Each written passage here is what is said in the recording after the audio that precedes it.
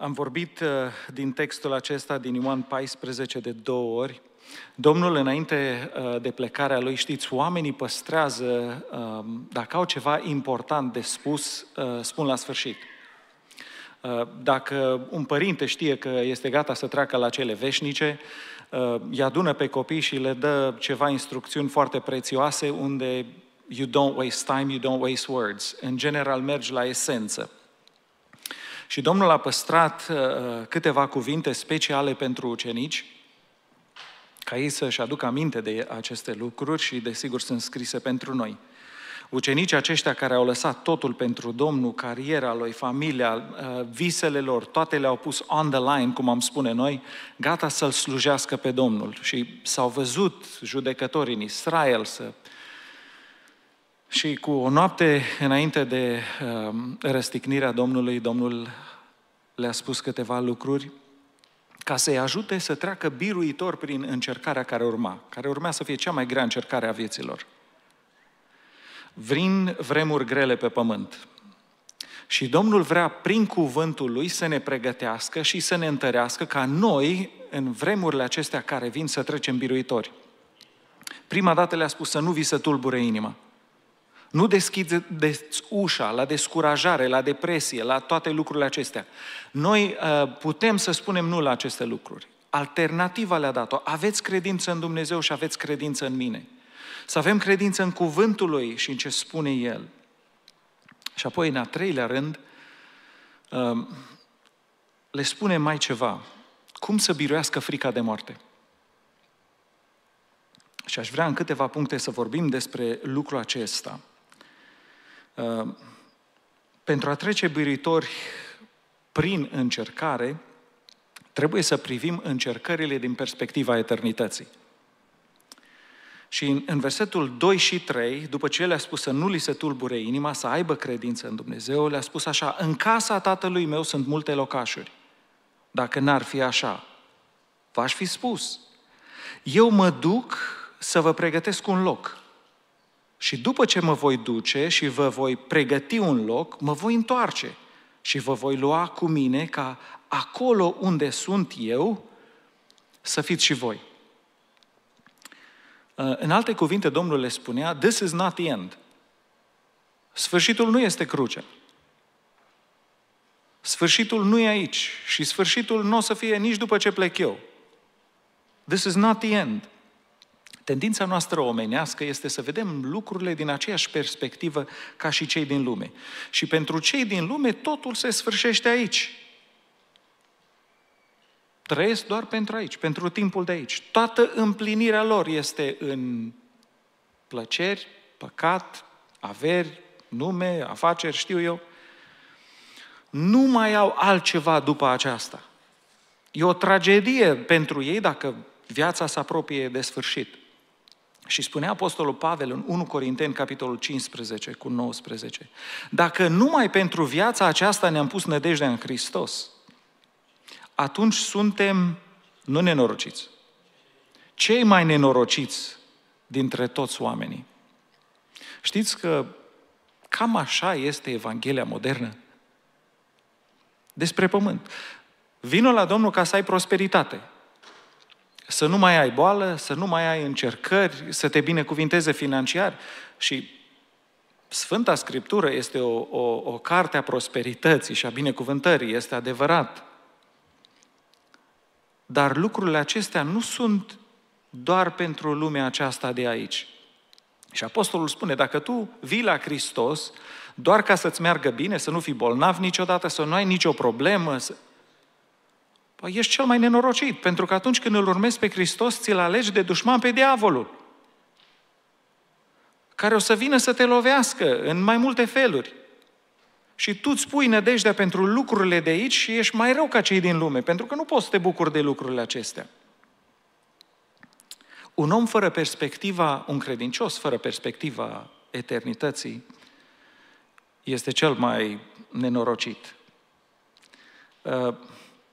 Uh, Omul acesta nu găsește împlinire, e neliniștit, frustrat pentru că are valori greșite.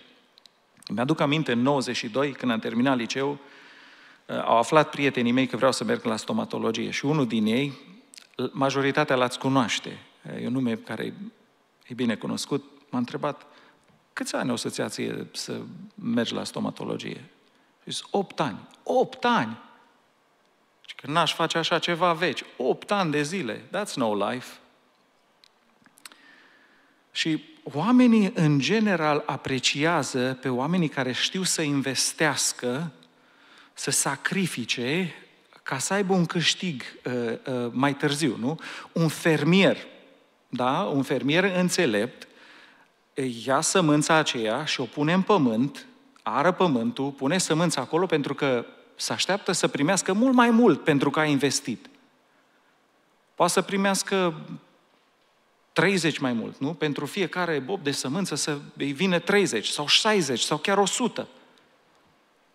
Dacă cineva ar veni la dumneavoastră și ar spune, ă, dă-mi un dolar și într-o lună de zile îți dau 100 de dolari. Și știi că este om de încredere. Vi s-ar pare o investiție înțeleaptă?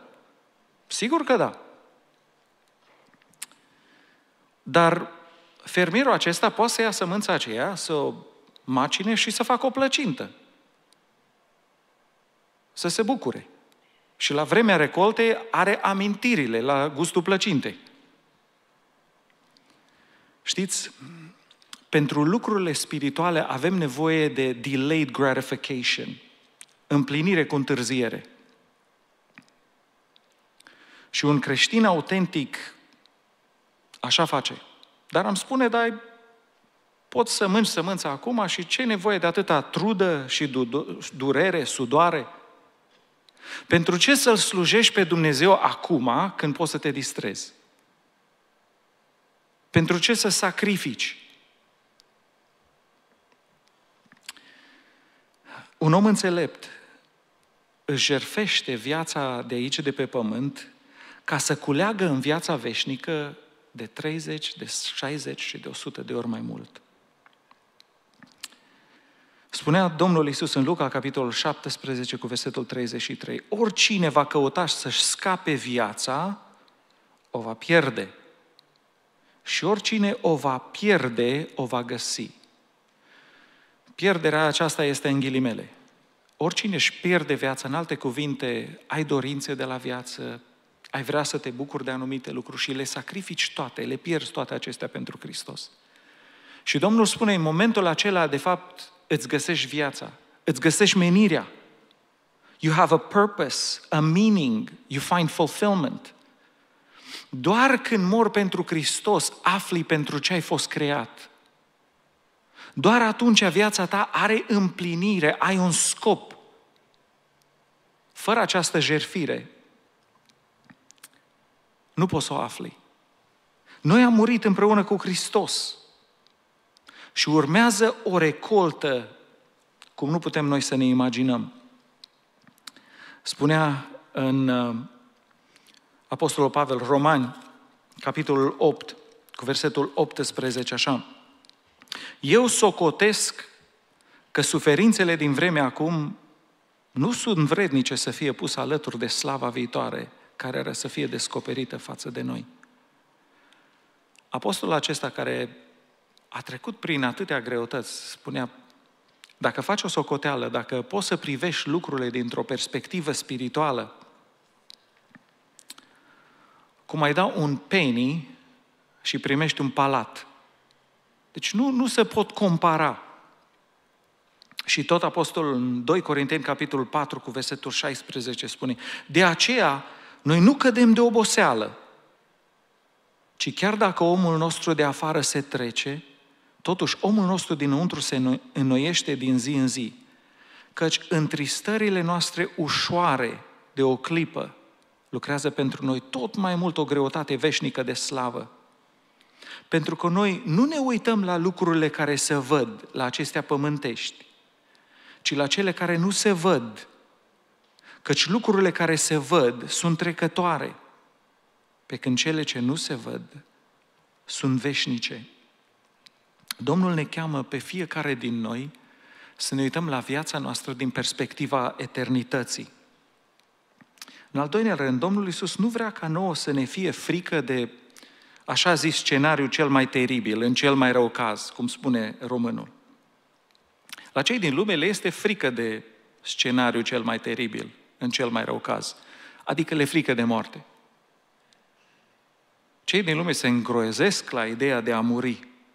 Și dacă nu l-ai pe Hristos, au dreptate să se îngrozească. Dar pentru noi a muri este total altceva. A muri înseamnă să intrăm în prezența Domnului Isus. Uh, imaginați-vă, pământul acesta când l-a făcut Domnul i-a luat șase zile să-l facă.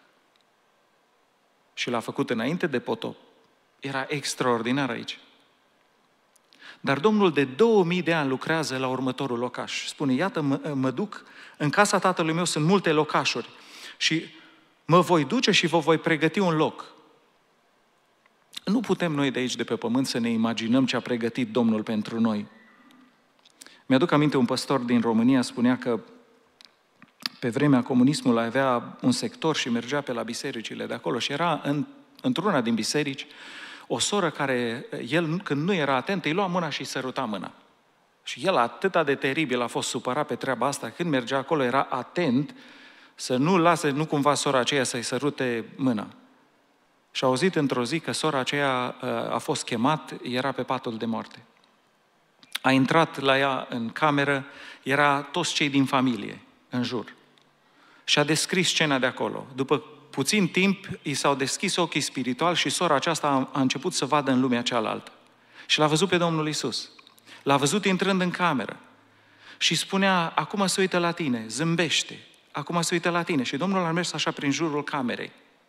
Și erau în uh, familie câțiva care nu umblau cu Domnul. Și le-a spus, la tine fața lui e tristă când se uită la tine. Până a ajuns la ea. A întins mâinile și a plecat la cele veșnice. Și la oameni le este frică, la credincioși, să se întâlnească cu Domnul. Mi-aduc aminte tot așa, uh, am citit despre moartea lui F.F. Bosworth. Omul acesta a scris cartea Christ the Healer, o recomand pentru toți, o carte extraordinară. A fost printre primii penticostali din America, uh, a fost unul din fondatorii la Assemblies of God, uh, din prima generație, a avut multe cruciade, unde mulți erau vindecați, erau, se făceau multe semne și minuni. Și omul acesta, la bătrânețe, uh, s-a pensionat în Miami. După ce a umblat cruciade până și în Africa și peste tot, și s-au adunat toți în jurul lui pentru că era timpul lui de plecare acasă. Și spuneau cei din nou care erau prezent acolo. La plecarea lui, i s-au deschis ochii să vadă în lumea cealaltă. Și spuneau cei din cameră că o vreme multă stătea în picioare și dădea mâna cu oameni pe care ei nu-i vedeau. Și una din uh, care mi-aduc aminte spunea, pe tine te-am întâlnit la cruciada din Chicago. Mă bucur să te văd. Persoana aceea l-a cunoscut pe Domnul la una din cruciadele lui. Și s-a sfârșit cu Domnul și a plecat acasă. Pentru cei credincioși, a pleca în partea cealaltă nu ai de ce să fie frică. Doar pentru cei din lume. Tălharul de pe cruce a avut un moment când a crezut că Isus este Mesia. Și a crezut că Domnul Isus Hristos se va întoarce. Și Domnul i-a primit acea credință. Noi prin credință am fost mântuiți, ca și tălharul acesta. Și tălharul acesta a spus ceva. A zis lui Iisus, Doamne, aduți aminte de mine când vei veni în împărăția ta. Observați credința lui, Doamne, Tu vei veni în împărăția ta. Și avea o singură dorință, Doamne, aduți aminte. Iisus i-a răspuns, adevărat îți spun că nu mâine, nu într-o sută de ani, nu într-o mie de ani. Adevărat îți spun că astăzi vei fi cu mine în rai. Eu cred că tălharul acela aștepta momentul să închidă ochii să treacă de partea cealaltă. Acum, Domnul Isus nu le-a spus ucenicilor în pasajul acesta despre locuri care îl pregătea pentru ei, ca să-i pregătească pentru o moarte iminentă. Absolut deloc. Ci le-a spus ucenicilor despre rai, despre paradis, ca să nu le fie frică de această eventualitate. Și Domnul nu ne vorbește nouă în, în acest test, de, test despre locul minunat care l-a pregătit Domnul, despre paradis. ca noi să ne pregătim săptămâna aceasta, luna viitoare să plecăm acasă, nu. Ci să fim pregătiți pentru această eventualitate și să ne uităm la această eventualitate cu bucurie. Ucenicii trebuiau să ducă Evanghelia împărăției în Ierusalim, în toată Iudeea, în Samaria și până la capătul pământului. Iar aceasta implica riscul ca ei să poată să fie martirizați oricând. Ei nu știau când o să fie ultima predică, ultima evangelizare, ultimul cuvânt. Și trebuiau să fie înarmați dinainte cu această mentalitate. Și dacă se întâmplă, no problem. Sunt gata să plec. Ascultați mentalitatea aceasta a Apostolului Pavel, Filipeni, capitolul 1, cu versetul 21. Și spune Apostolul, căci pentru mine a trăi este Hristos și a muri este un câștig. Dar dacă trebuie să mai trăiesc în trup, face să trăiesc. Și nu știu ce trebuie să aleg. Sunt strâns din două părți. Aș dori să mă mut și să fiu împreună cu Hristos. Căci ar fi cu mult mai bine să fiu de partea cealaltă cu Hristos. Dar pentru voi este mai de trebuință să rămân în trup. Observați un om care este înarmat cu astfel de mentalitate. A trăi înseamnă să trăiesc pentru Hristos. Dar dacă mor, e un câștig. Diavolul nu are ce să, cum să intimideze un astfel de om. Dacă vine și spune, te omor, vei muri. Un om astfel de om spune, e un câștig, aleluia, o să fiu cu Hristos. Îi spune, o să trăiești foarte bine, o să trăiești pentru Hristos. Cum intimidezi un astfel de om? Este imposibil. Și aceasta este mentalitatea cu care Domnul vrea ca fiecare din noi să ne înarmăm. În vremurile care vin, orice ar veni. Dacă trăiesc, trăiesc pentru Hristos. Dacă trebuie să plec, no problem, o să fiu cu Domnul. Diavolul nu poate să te oprească pe cale. Pe mulți îi ține robi de frică. Dilema Apostolului Pavel era să mă mut, e mai bine să fiu cu Hristos, dar n-aș vrea să plec înainte să-mi termin mandatul. Și acesta este un argument pentru fiecare din noi. Când ne luptăm cu boala, când ne luptăm cu anumite circumstanțe, să-i spunem Domnului, Doamne, sunt gata să plec, no problem, dar eu vreau să-mi termin mandatul, ca și Apostolul Pavel. Doamne, dacă mandatul meu nu-i terminat, te rog să-mi dai vindecare. Doamne, dacă mandatul meu nu este terminat, te rog, ridică-mă din starea acesta, aceasta. Și este un argument care Domnului îi place. Sunt oameni care mor prematur pentru că nici nu iau în calcul faptul că Domnul ar avea un mandat pentru ei. Și atunci nu au niciun scop pentru care să trăiască. Și atunci zacă în pat, nu se luptă pentru, pentru vindecare, pentru ridicare. Alții sunt paralizați de frică și mor de frică. Le atâta de frică, nu dorm bine noaptea, să autodistrug. Pentru noi, a muri înseamnă a fi cu Hristos, cu Cel care ne-a iubit așa de mult.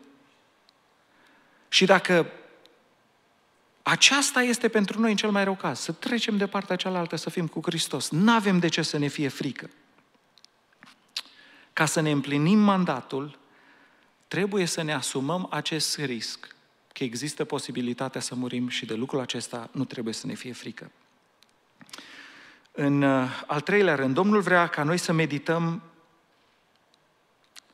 Domnul nu vrea ca noi să medităm la ceea ce vedem cu ochii de carne, cu ochii firești, ci vrea să medităm la ceea ce se vede doar cu ochii spirituali.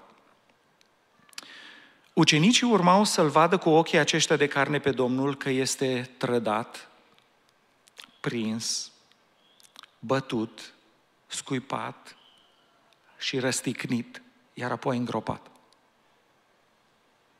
Și dacă te oprești la această imagine, dacă ucenicii se opreau doar la această imagine și n-ascultau de cuvântul Domnului, urmau să cadă total jos.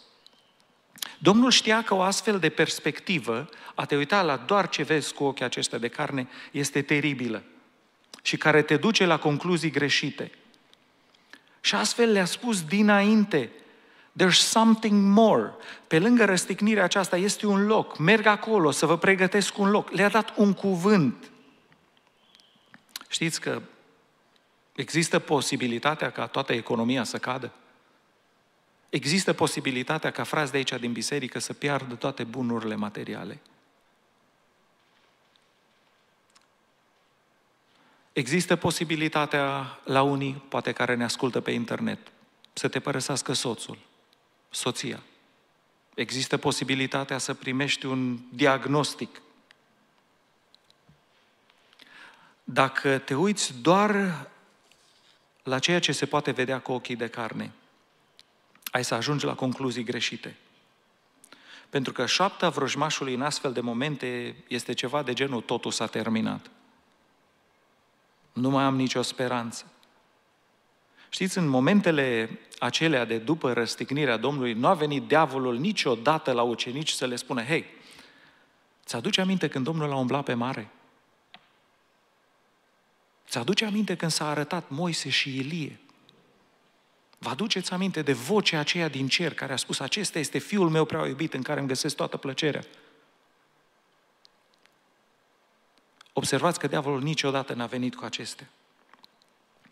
În momentele tale de criză, diavolul niciodată nu o să vină să-ți aducă aminte de promisiunile Domnului, de cuvântul Lui, de momentele când Domnul te-a ridicat, te-a ajutat, de minunile care le-a făcut în viața ta. Nu, nu. A să-ți arate doar ceea ce poți să vezi cu ochii de carne. Domnul e răstignit, e pus într-un mormânt, totul s-a terminat. Și la situația ta o să spună, it's over. Nu mai ai șanse. Îmi place așa de mult psalmistul 103 cu versetul 2, spune, binecuvintează suflete pe Domnul și nu uita nici una din binefacerile Lui. Diavolul nu o să-ți aducă aminte de binefacerile Domnului. That's your job. E responsabilitatea ta să-ți aduci aminte de ce a făcut Domnul. Ce trebuie să facem să-L binecuvântăm pe Domnul în astfel de momente? Și doi, să ne aducem aminte, să nu uităm nici una din binefacerile Lui. Și David a trăit lucrul acesta. Tot poporul Israel se uitau la Goliat și tremurau toți de frică. Vine David. Și își aduce aminte de ce a făcut Domnul pentru el. Și spune, Domnul care m-a izbăvit din gheara leului și din laba ursului, mă va izbăvi și din mâna acestui filistean. Și în momentele acestea a primit credința și puterea ca să meargă înainte. Dacă te uiți la așa zis Goliatul în ghilimele cu care te confrunți și te uiți doar la uriașul care stă în față, la imposibilitatea ta, ai să cazi în depresie, în deznădejde, în frică, n-ai să dormi bine, nu o să fii într-o stare de credință absolut deloc. Dar dacă te uiți cu ochii spirituali și îl binecuvintezi pe Domnul, Domnul se pogoară în mijlocul laudelor. Atmosfera din casa ta, din camera ta se va schimba. Nu uita niciuna din binefaceri Lui, repetele una după alta. Când te uiți cu ochii spirituali, o să vezi izbăvirea. Apoi, în a patrulea rând, moartea fizică nu este ceea ce își imaginează cei mai mulți. Moartea fizică nu este altceva decât dezbrăcarea de corpul acesta. Dacă vă uitați acum la mine și credeți că haina aceasta mă reprezintă pe mine, cam așa se întâmplă la moarte. Ne dezbrăcăm de corpul acesta. E pus într-un sicriu și trece toată lumea și spune, aici o David. Și dacă am avea ochi să vedem în lumea spirituală, am vedea persoana aceea care zice, hey, I'm here. A fost doar haina mea care am avut-o pe pământ. Eu nu sunt acolo. Absolut deloc. Costumul acesta nu mă reprezintă pe mine. Este doar ceea ce folosesc astăzi să fiu aici. Trupul acesta în care suntem noi este haina noastră pământească. Nu ne reprezintă pe noi. Cum nu vă pare rău de unghiile care le tăiați, așa nu o să vă pară rău după trupul acesta pământesc. Pentru oameni, într-adevăr, atât. Văd doar plăcerile din trupul acesta pentru noi. Nu este decât vehiculul prin care umblăm prin lumea aceasta. Cu, nu mai știu, 14-15 ani în urmă, nu mi-aduc aminte, a venit tata socru la mine – eu locuiam în Modesto și am zis să-l aducem la cumnata mea care e în Thousand Oaks aici și Am venit, am condus noaptea, am oprit undeva în Bakersfield, am mâncat dinner, am ajuns, i-am văzut noaptea, 12-1 dimineața, vine mama soacră. Tată, tu nu se mai trezește. Era speriat. Am mers la el, i-am luat pulsul de aici, nu avea puls, era cu ochii deschiși, era plecat. Am știut, nu putem să-i facem CPR acolo în pat, l-am dus repede pe living room floor, cumnata imediat a sunat 911 și au venit, l-au curentat de câteva ori, i-au pornit inima, i-au deschis arterele și prin harul Domnului trăiește.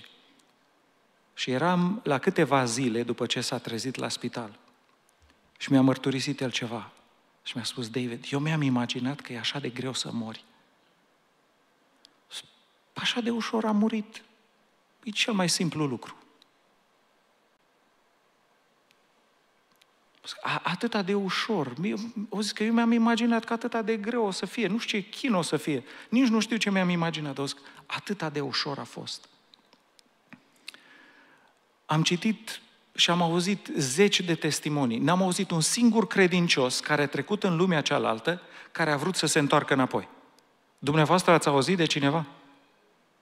Da, că a mers în iad, sigur că da, că a vrut să se întoarcă înapoi, dar cel care a mers să fie cu Domnul în partea cealaltă. Nobody. Și noi din ignoranță, din lipsă de cunoștință, ne este frică de un lucru de atâta de frumos. Domnul vrea să ne spună prin cuvântul acesta ucenicilor și nouă să nu lăsăm pe vrăjmaș să ne chinuie cu frica de moarte. Există o lege uh, spirituală. Ceea ce privim este în general mărit în ochii noștri și ceea ce ignorăm este micșorat. Dacă ne uităm cu ochii aceștia de carne la problema noastră, prin mintea noastră, prin gândirea noastră, problema devine tot mai mare și Dumnezeu nostru devine tot mai mic. Acum, noi nu putem să-L mărim și să-L micșorăm pe Dumnezeu, aceasta doar în ochii noștri. Dar când ne focalizăm pe cuvântul lui Dumnezeu și ne uităm la El, Dumnezeul nostru devine tot mai mare și problema noastră devine tot mai mică. Spunea tot psalmistul în psalmul 34, cu versetul 3. Înălțați pe Domnul împreună cu mine. Acum, credeți că atunci când noi înălțăm pe Domnul, că tronul lui Dumnezeu se ridică cu un milimetru mai sus? N-are rol. Universul acesta nu încape toată gloria lui. Dar aceasta este la gândirea noastră, la conștiința noastră. Înălțați pe Domnul împreună cu mine și spune el să lăudăm cu toții numele Lui. Eu am căutat pe Domnul și mi-a răspuns. M-a izbăvit din toate temerile mele. Invit grupa de worship să vină în față. Domnul nu vrea ca noi să avem temeri și nu vrea să avem nicio frică. Pentru că noi să ne împlinim mandatul avem nevoie de credință. Și fără credință este cu neputință să fim plăcuți Lui. Pentru că cine se apropie de Dumnezeu trebuie să creadă că El este, că cuvântul Lui este adevărat. Domnul vrea ca fiecare din noi, la tot ce facem, să ne uităm la viață și la noi din perspectiva eternității. Să știm că nu se termină aici. Absolut deloc. La problema cu care te confrunți astăzi, cât crezi că o să-ți pase de problema aceasta într-o mie de ani? Care a fost cea mai grea problemă care ați avut-o cu 20 de ani în urmă? Și cât de mult contează astăzi?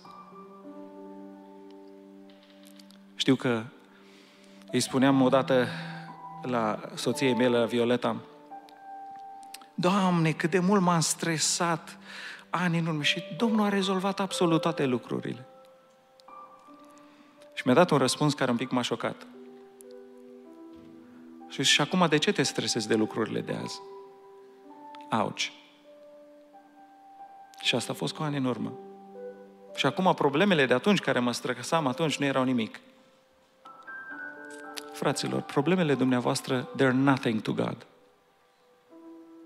Doar trebuie să avem răbdare și să avem credință.